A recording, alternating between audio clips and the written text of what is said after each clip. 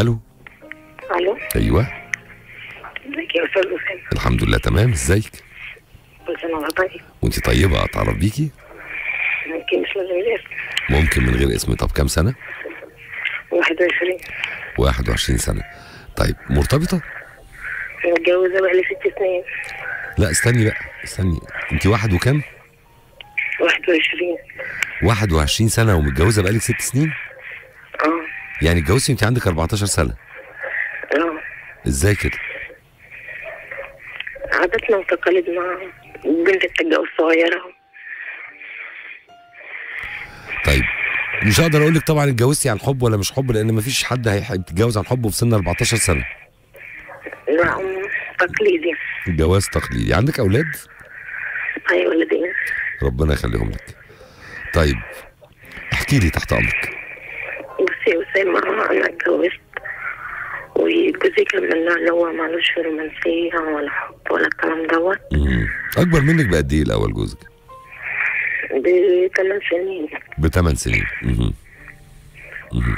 أجي مثلا أقول له بحبك إيه إحنا لسه هنتعرف على بعض. آه حصلت مشاكل وكده يعني بسبب الكلام دوت لدرجة إن أنا كرهت نفسي ما بقتش البس ولا استحمل نفسي. جيت بعد كده جات له سفرية وسافر. رجع سنة وجه. كان معايا ولد واحد اما جه جبنا الولد التاني. دلوقتي سافر بقاله سنتين مم. واتعرفت على واحد صاحبه. وحصلت بينا علاقة مم. شهور خد خبر؟ لا ما عرفش حاجة.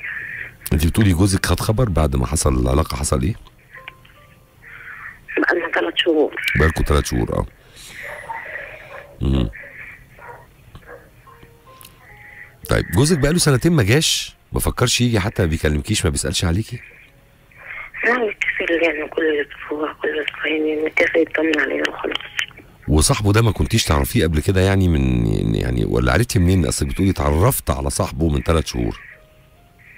صاحبه ده جالك بيجيب لك حاجة بيبعت لك حاجة بيسأل عليكي ليه؟ عرفتيه منين يعني؟ لا دوت أعرفه بقالي كتير. أها. بس العلاقة حصلت بقى لها ثلاث شهور. آه والعلاقة دي بتتكرر؟ مم. بتحبيه؟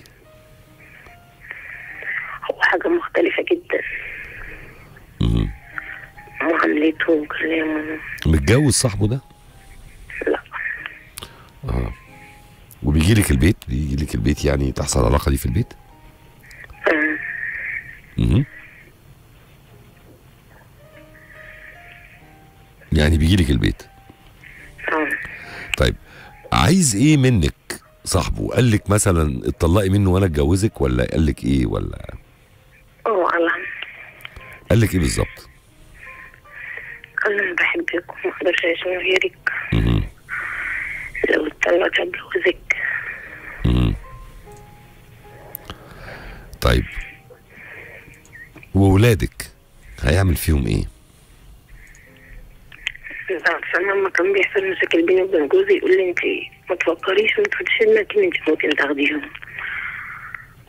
بيقول لك جوزك بيقول لك ما تفكريش إن انت لو سبتيني ممكن تاخديهم. آه طب انت عايز تعملي إيه؟ مش عارفة أنا لو شفت حياتي حاسة إن أنا هظلم عيالي.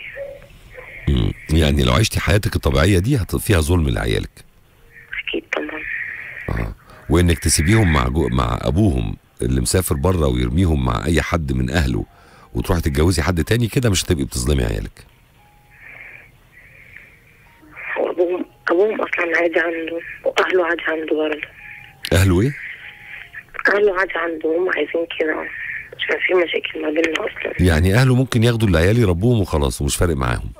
آه هم ده اللي هم عايزينه. وأنت شايفة إن أهله يعرفوا يربوا ولادك كويس ولا أنت تربيهم أحسن؟ أكيد طبعا أنا أحسن. طيب. يبقى حياتك معاه مش أسوأ لولادك لأ أحسن لولادك عشان هتكوني أنت اللي بتربي ولادك. أنت بتقولي لي إن حياتي معاه ممكن تكون أسوأ لولادي. مش كده؟ أكيد.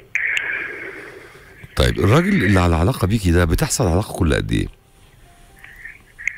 يعني كل 15 يوم. امم بيجي لك البيت كل 15 يوم. ولادك بيكونوا فين؟ في الحضانة. مهم. طيب بيتك ده مش ممكن مثلا حد يعرف يقول لأهل جوزك إن في حاجة كده بتحصل؟ أهل جوزي مش أصلا أهل جوزي في الصعيد. ما فيش أي حد من قرايب جوزك ممكن يوصل له المعلومة.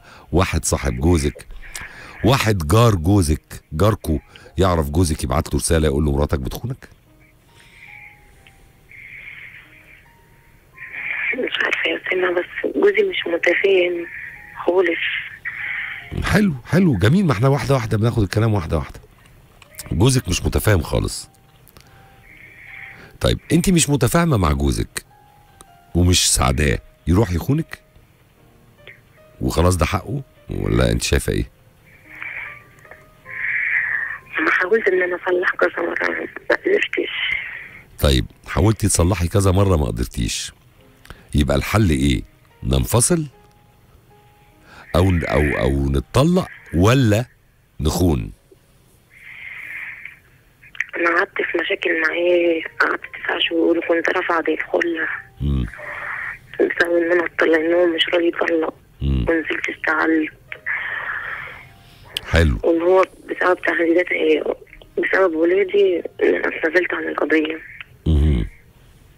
إن هو بقى يهددني إن أنا هاخدهم غصب عنك أنا مش هسمح لأب تاني. طيب دلوقتي. دلوقتي أنت لو هتتجوزي صاحبه ده متخيل إن هو هيسيب لك ولادك ولا هياخدهم برضه؟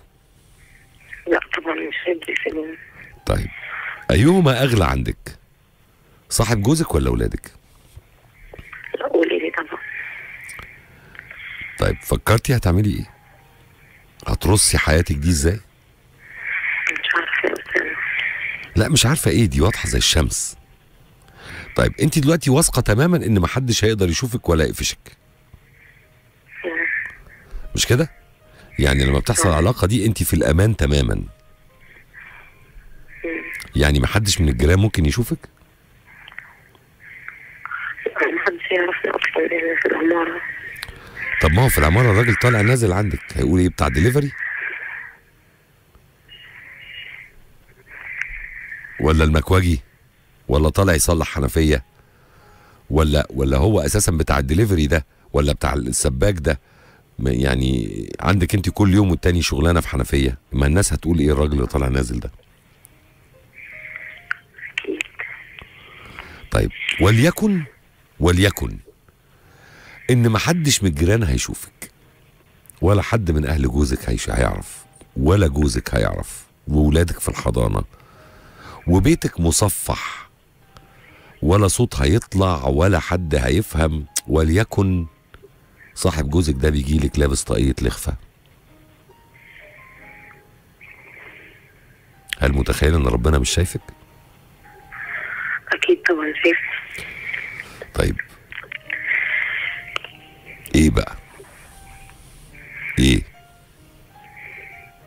ناوي على إيه بص يا بنت الناس ثقافة مجتمع مع الأسف أجبرت طفلة زيك في عمر 14 سنة تتجوز فأنت مظلومة 100% واللي ظلمك واللي أجبرك على كده أهلك. بس أنت النهاردة لقيتي نفسك في الموقع ده وعشتي الحياة دي لحد ما تميتي 21 سنة. كل مشكلتك إن جوزك مش رومانسي مش عاطفي مش بتاع حب مش بيقول لك كلام لذيذ مش بي... ملوش في ده. كل مشكلتك إن راجل اتغرب بيشقى علشان يأمن مستقبلك ومستقبل عيالك.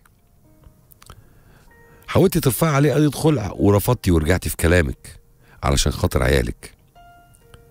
يبقى في النهاية ترضي إن عيالك يكبروا على وش الدنيا. والجيران تشاور عليهم وتقول الواد ده والواد ده أمه كذا ولا كذا؟ ولا عيالك اللي ربنا رزقك بيهم يمشوا رافعين راسهم في الشارع ويقولوا أمنا ست زي الفل تتحط على الجرح يبرد ومنها صانت غربة أبونا وشرفه وعرضه. يرضيك تدخلي كلب بيتك ينهش لحمك وشرف جوزك. يرضيكي؟ يرضيكي إيه ولا إيه ولا إيه؟